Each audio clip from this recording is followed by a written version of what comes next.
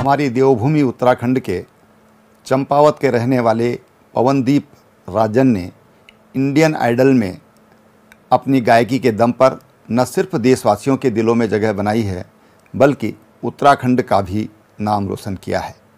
मैं भगवान बद्री विशाल और बाबा केदार से पवनदीप के उज्जवल भविष्य की कामना करता हूँ।